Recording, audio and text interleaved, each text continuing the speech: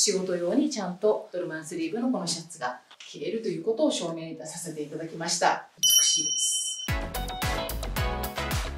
試着室はマジックボックス。皆さんこんにちは。スタイリストの五十嵐薫です。早速着てまいりました。こちらのジャケット。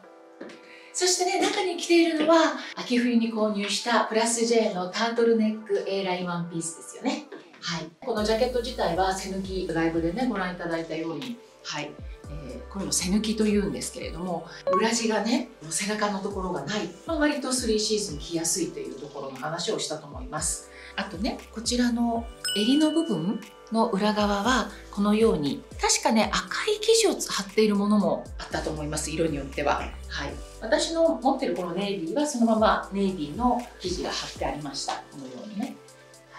でこのね、えー、背抜きのジャケットとこのウールのワンピース一瞬ちょっとえっ？と思われるかもしれませんけど今の時期だったらこういう着方で十分暖かいと思うのね。で、えー、何を言いたいかっていうと同じブランドであるがゆえに色の差があんまり感じられないというかね。ネイビーを私購入してるじゃないですか。でこのようにね朝と夜は割と寒いよっていうような時このような着方っていうのは許されるので是非ともねおすすめしたいと思います。はい、ね、今日はねこのジャケット。それからねこのコートも一緒に試してみたいと思います。まずはこのコートこのワンピースでどういう風になるか見ていただきましょうか。はい。じゃん。はい。このグレーコント合わない？すごく両方とも高級感出ると思うの。もともとこのワンピースがねゼロが1個あってもいいよなんて話をしてたんですけれどこういう着方ってねメンズなんだけれど女っぽく見えると思わない？ね、紺に合わせると余計にこのモーブな甘い感じの色に変わってくるような気がするの。もちろんね後ほどね。後ほどって言っても後日ねこのコートのコーディネートもご覧いただこうと思うんですけれど。このフードはね取り外しが効きます。ボタンでこのようについてるので取り外しが効きます。はい。だからもしこれがねちょっと邪魔っていう人ははい片方だけ取ってみました。こういう感じ。どう？これはこれでかっこいいんじゃない？はい。サイドからポケットに入れるとこっち側見せちゃったはい、じゃん。はい。私が今着ておりますのはシルクコットンクルーネックセーターメンズの S サイズです。はい、そしてね前にもお伝えしたと思うんだけれども今回私が購入したスリムウールパンツは黒だったので、えー、秋冬物の紺で合わせてみました。でその上にかけてるのがやはり同じく秋冬物の3色のこのストールです。ごめんなさい。あの春夏のものを紹介するのに秋冬物ばっかりをこうやって 揃えていますけれども春夏秋冬で一つのブランドをトータルで購入されているといろんな着回しっていうのができると思います。もともとそのブランドっていうのはねやはりそのコンセプトにのっとって色合いとかも多少ね合わせたりとかするのでこういう着方っていうのはぜひこれから先プラス J のねファンの方していただくといいんじゃないかなと思います。はい、でもともとね今日この格好をするのは何でこのストールを紹介したりとかするつもりではなくてなんでかというと先ほどからね1回目から着ております。こちらのジャケットをもともとこういうスタイルでね着てみたいなと思ってたのでいかがでしょう？もうスーツ完璧スーツですよねちょっとね。色が微妙にやっぱり違うかな。秋冬物の方がよりもっと濃紺の度合いが濃いですよね。それからねこのジャケット私今ポケットを中に入れてますけれどもこのようにすると少しカジュアルに触れてこのポケットの蓋を中に入れることによってよりもっとシャープな印象になっていきますので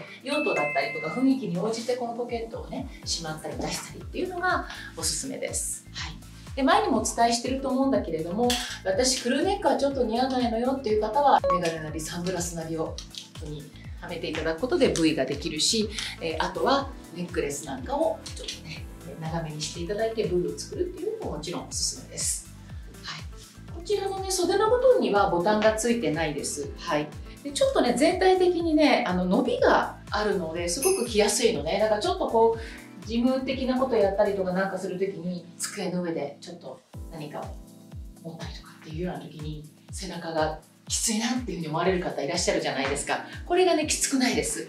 すごく動きやすいです、はい、働く女性のことをちゃんと考えているジャケットだと思います。立体裁断の話したじゃない？商品を着れることがあったら是非ともここにね手を撫でるようにしても触っていただきたいです。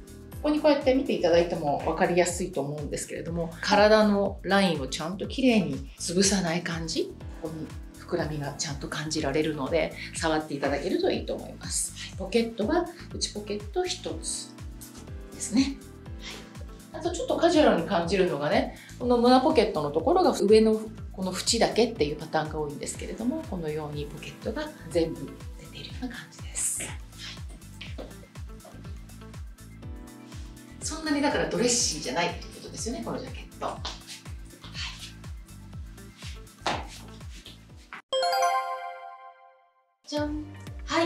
ルマンスリーブのこのシャツを着てこういう風に袖のところが邪魔になってないっていうのをご覧いただいてます。はい。仕事用でもちゃんと着れるっていうことですよね。ほら上にねあの何か物を着れないんじゃない？どうしたらいい？ストールしかダメかしら？みたいな話をしてましたけれども仕事用にちゃんとドルマンスリーブのこのシャツが着れるということを証明させていただきました。美しいです。はい。本当このジャケット白があってもよかったのになと思います。グレーに近い白でもよかったな。うん。はい、ないものを求めちゃいけないですね。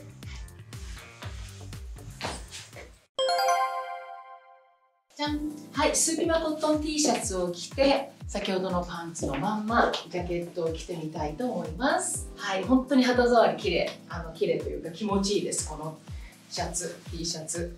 はい。こんな感じこのね赤みのある T シャツそれからちょっと濃いめのネイビー。なかなか男前な感じのコーディネートなんじゃないでしょうか。はい。もちろんねこちらをつけていただいてもいいしこのままコートもいってみましょうか。はいいかがでしょう？